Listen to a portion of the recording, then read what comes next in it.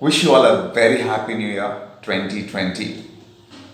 Let this be let this year be uh, filled with uh, prosperity, happiness, success and productivity.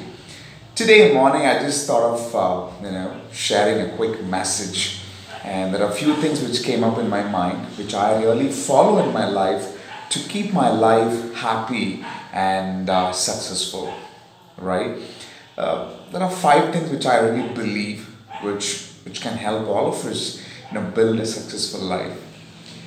Number one my first belief is uh, everything in our life happens with a reason.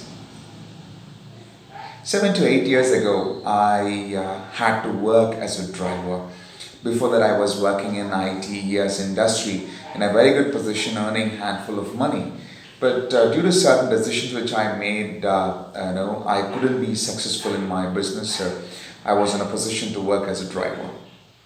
I used to worry so much. You know, why why is this happening to me? Right? Uh, why should I work for a less salary? Nothing wrong in being a driver, but you know, being in a I had I was in a good position and I had to work as a driver for a very less salary. But few years later, I had an opportunity to train a bunch of drivers where I, I gave a lot of good examples which was completely relevant to them. And everyone was so happy. They asked me, Prabu, how can you give uh, you know such a relevant experience, you know, uh, being in our position, right? Then I realized the reason for me working as a driver. So everything happens in a life for a reason. That's my first belief.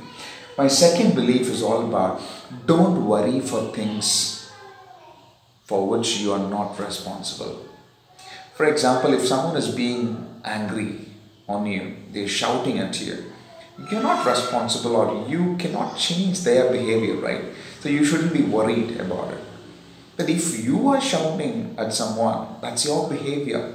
You're responsible. You're the reason for that behavior. Maybe you can be worried about it and you can work on it and you can change your behavior. That's my second belief. And my third belief is what you give is what you get. If you give goodness to people, you get goodness back. If you help someone, maybe you will get some help at the right moment. That's my you know third belief. And my fourth belief is developing a skill a skill that can help you survive and be successful throughout your life. If you take uh, you know, my skill, for example, training is my skill. I love to teach something to people, especially I'm good at uh, helping someone speak English very easily. That's my skill. So that is really helping me to be successful in my life. That's my fourth belief. And the fifth belief is never advise anyone right? Because you can't uh, uh, completely understand both the sides right? And and your advice might go waste or irrelevant. The person whom you're giving the advice might feel you haven't understood my side right? It again hurts that person right? Maybe uh, even now I'm, I'm giving you five important things which can help uh, you know, life to be successful and happy. But I'm not giving this as an advice. I'm telling you these are my beliefs. I'm just sharing that these beliefs are helping me to be happy in my life. More than being successful, these beliefs keep me feel very happy. These are five things. Let me quickly list. Number one, everything in your life happens for a reason. Number two, don't worry for things for which you don't have a control. Number three, what you give is what you get. Give goodness and happiness to people and develop a skill that can, you know, keep you successful. And number five, never advise people without understanding both the sides.